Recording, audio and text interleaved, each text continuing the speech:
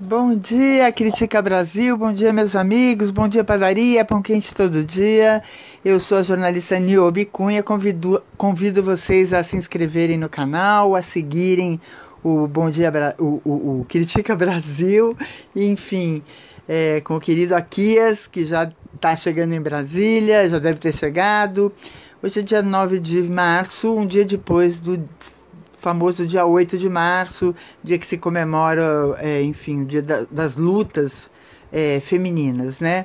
É, e eu dedico esse, esse, essa minha live de hoje aos homens. Uh, porque eu acho que é, é, é, eles são muito importantes nessa luta feminista. Antes de mais nada, é, eu gostaria de esclarecer o que, que é feminismo. É, Feminismo é a luta da mulher pelo direito de ser mulher. Isso é feminismo. Então, assim, isso não tem nada a ver com é, ideologia A ou B, enfim, ela pode até ser simpática a uma ideologia e não a outra, mas isso não tem nada a ver. Isso é a luta das mulheres pelo direito de, de serem mulheres, porque é, não sei se vocês sabem o número de feminicídios cresceu assustadoramente, né? Em janeiro teve-se 176 casos registrados, o que daria uma média de seis casos por dia, uma coisa assim. Enfim, eu não, não fiz a conta, mas é mais ou menos isso. É, desses casos, 116 vieram a óbito, 116 casos vieram a óbito Uh, e 71% dos casos é, as tragédias são causadas por companheiro ou ex-companheiro. É, eu acho que isso é meio autoexplicativo, né? É, não existe lei, não existe respeito, não existe. As mulheres precisam sim, no momento, de uma proteção extra, no sentido de que elas estão vulneráveis a uma violência absurda e descontrolada e, pior do que isso, estimulada por pessoas que estão no governo. Né? Quando você vê um homem que hoje é presidente e na época dizia que jamais contrataria uma mulher pelo mesmo salário que um homem, é, você sabe que essa pessoa não entende o papel real e verdadeiro da mulher na sociedade. Quando você vê uma pessoa que diz eu não te estupro porque você não merece, é, essa pessoa, é, você vê que isso está na cultura dessa pessoa, né? Isso é, é mais forte do que essa pessoa. Isso é uma resposta de um parlamentar, na época ele era parlamentar, uh, a uma outra, a uma colega parlamentar por conta de desavenças, enfim, tais, que nada justifica.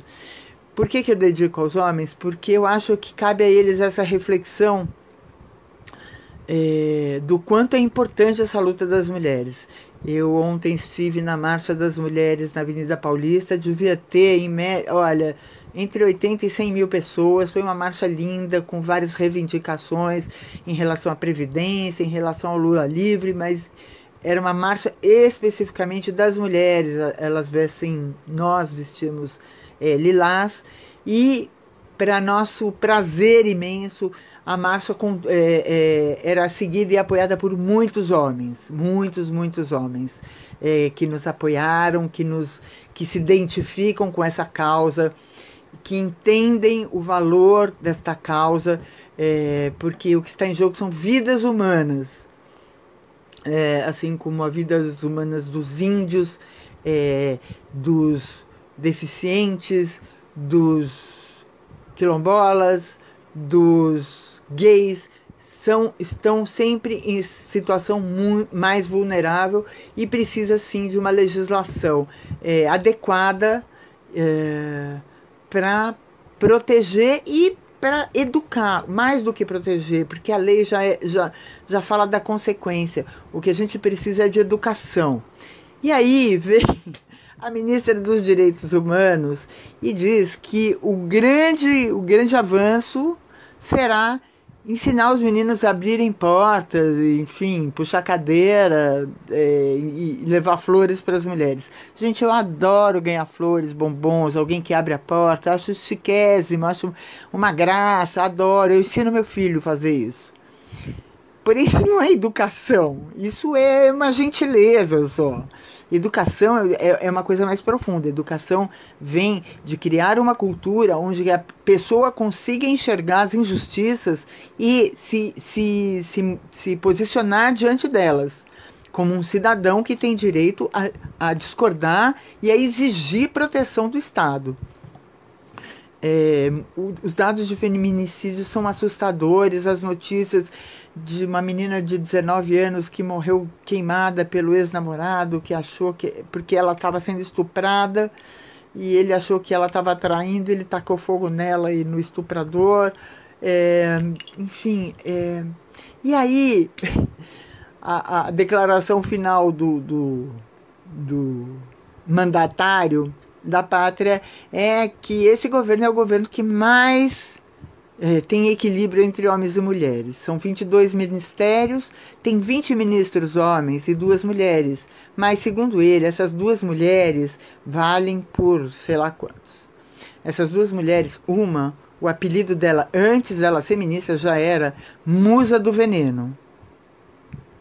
É a ministra da Agricultura é a pessoa que de janeiro até agora liberou 54 agrotóxicos, dentre os quais muitos, mais de 80%, são proibidos na maioria dos países. A outra é a tia da goiabeira, que é a Damares. Ou seja, é, essas mulheres, para esse presidente, são símbolos da luta de mulheres que estão morrendo. E um, entre edu a educação que ela sugere para vocês, homens, é puxar cadeira, abrir porta, levar flores, bombons, é, chamar de meu bem, minha querida. É, gostaria de avisar a ministra Damares que 71%, eu já vou repetir, 71% das mortes em janeiro, 116 mortes de mulheres, é, 71% foram de companheiros. Companheiros, ex-maridos, ex-namorados, ou namorados, ou atual namorados, enfim. É, provavelmente, um deles é notório, foi no Espírito Santo. A família do rapaz disse que o rapaz era boníssimo, uma pessoa queridíssima, há mais de um ano convivia com a família, gentilíssimo, tratava ela muito bem, mas era muito ciumento.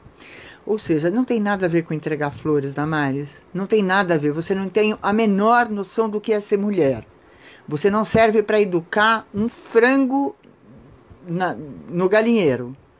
Porque se você soubesse o que é educar, você jamais falaria um absurdo desse diante das notícias catastróficas e da falta total de política de proteção às mulheres desse governo. Até agora vocês não apresentaram nenhuma proposta, nenhuma, digo, repito e repito de novo, nenhuma, zero proposta sobre o encaminhamento das causas femininas.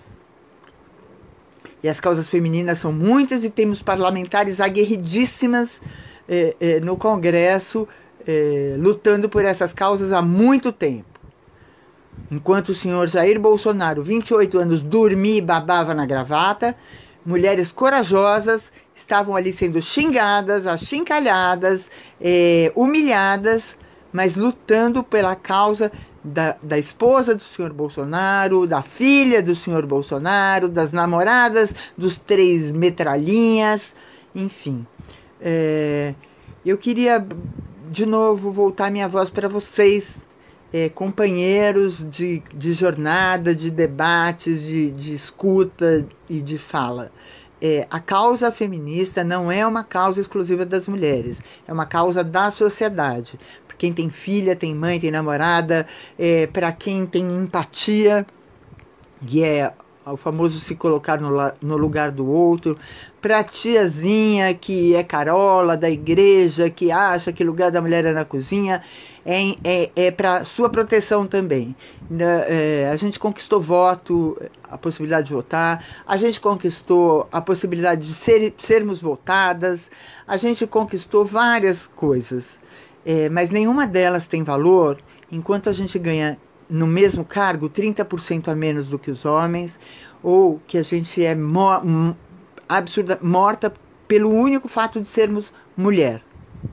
É isso que significa a palavra feminicídio. A gente é morta porque a gente é mulher. Enfim, é isso. É, que o sábado seja com sol brilhante, que a gente ponha a mão na consciência, que o Brasil é, precisa tomar, tomar nas mãos, tomar as rédeas desse país nas mãos. Não esperem desses governantes que, na verdade, estão desgovernados. Não vamos esperar nada deles.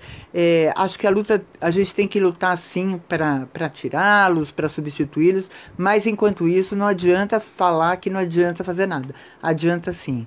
Ontem, nas ruas do Brasil inteiro, as mulheres, junto com seus parceiros, com os companheiros, com os apoiadores, mostraram ao Brasil que há muito o que fazer, independente desses senhores que, na verdade, estão ali só passando uma chuva e justificando os altos salários. Legal? Esse é o Critica Brasil. De novo, se inscrevam no canal, deem likes, a gente precisa muito de vocês. Quanto mais gente no canal, mais a gente tende a melhorar o, o, serviço que a gente presta a vocês. Aqui, bem-vindo de volta a Brasília. Pena que você não passou aqui em São Paulo, estava louca para te conhecer pessoalmente. Fica para uma próxima e amanhã a gente volta aqui com, com outro assunto que pode para pegar fogo, tá bom? Sigam daí que eu sigo daqui. Até amanhã. Critica Brasil. A verdade doa quem doer.